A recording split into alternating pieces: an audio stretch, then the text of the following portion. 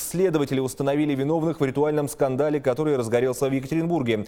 Яблоком раздора в войне похоронных агентств стал земельный вопрос. С подробностями Яна Юмакаева.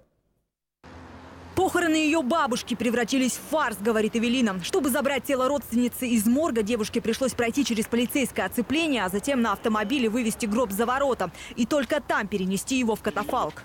Это ненормальная ситуация, это э, очень тяжело переносить и морально, и так не должно быть просто, это бесчеловечно.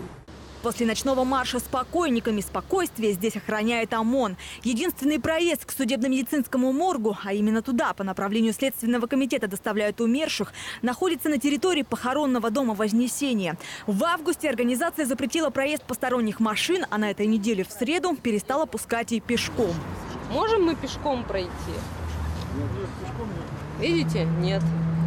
Под запретом люди шли на самые отчаянные поступки. Лезли через забор, а затем на свой страх и риск выносили тела через парадный вход Вознесения. Позднее, неизвестно как, открылись заваренные ворота со стороны 40-й больницы. Она находится рядом. Отсюда гробовщики на руках носили трупы до морга и обратно. Парни, только не это, не, не, не, не тусаните.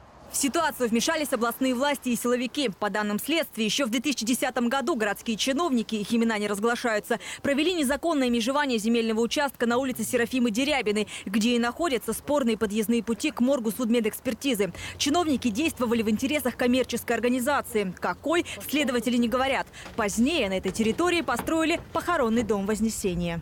Указанные должностные лица осознавали, что произвели межевание в нарушении действующих градостроительных норм и норм э, осуществления земельного отвода, что в свою очередь повлекло невозможность свободного прохода и проезда к расположенному в непосредственной близости зданию Бюро судебной экспертизы в Верхесецкий районный суд направлен иск об установлении свободного проезда на территории Вознесения. А пока председатель правительства региона Денис Паслер, который провел совещание с причастными к конфликту, настоял, чтобы на время разбирательств проезд по территории похоронного дома был открыт для остальных ритуальных фирм и родственников умерших.